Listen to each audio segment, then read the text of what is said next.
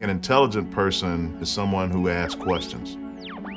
If you only let someone tell you something and you don't question it, well, you might as well join a cult. Screens are everywhere. Whether it's your phone, it's your iPod, it's your TV, in grocery store lines, in airports, in our homes. They are encoded with meanings, and it's important that we interpret and understand those meanings. Every tiny detail is perfectly crafted to convey a very specific message. Think about these strategies, these tiny little choices. You're being told what to think. So you better know when you're being manipulated, when you're being taken, and why you shouldn't be. What is critical studies? We're the division of scholars who look analytically, historically, and critically at all forms of moving image media.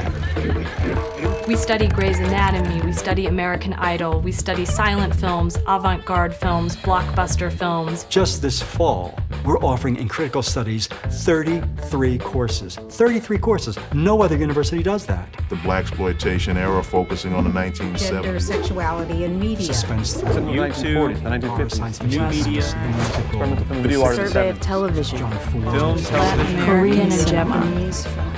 We don't just accept the face value of the media, but want to go below its surface. We look at things like why do we see what we see on TV? CBS Sports airs all the PGA tours, so what do they do? On 60 Minutes, they highlight Tiger Woods.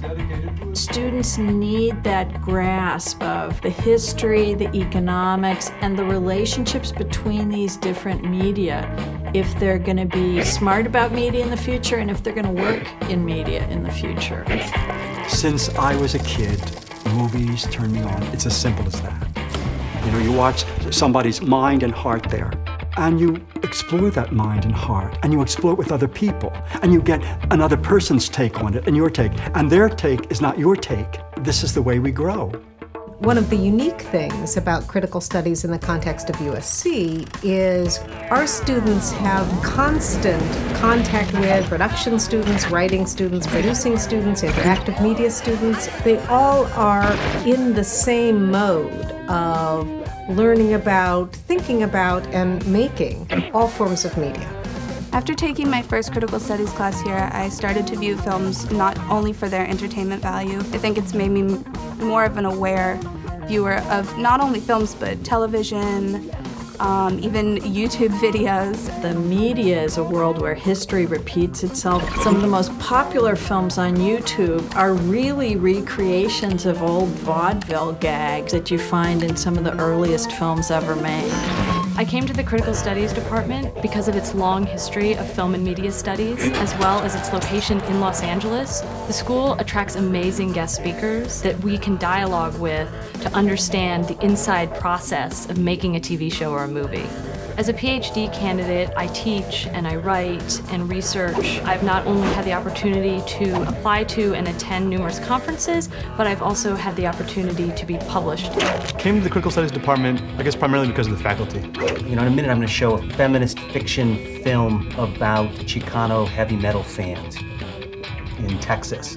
And Mike Tyson's story is very much tied to the emergence of hip hop culture. I pride myself on teaching courses that are about more than whatever the subject itself may say. So if you take my hip hop class, you're not just going to learn about hip hop, you're going to learn about American history over the last 40 years. Our faculty in critical studies is a very diverse group of people. Diverse in the sense of different perspectives.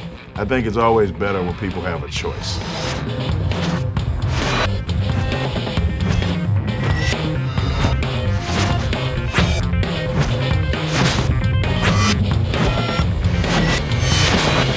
After a critical studies degree, we have our students going into all sorts of things. When you pursue a PhD in the humanities, it's really a certification to teach.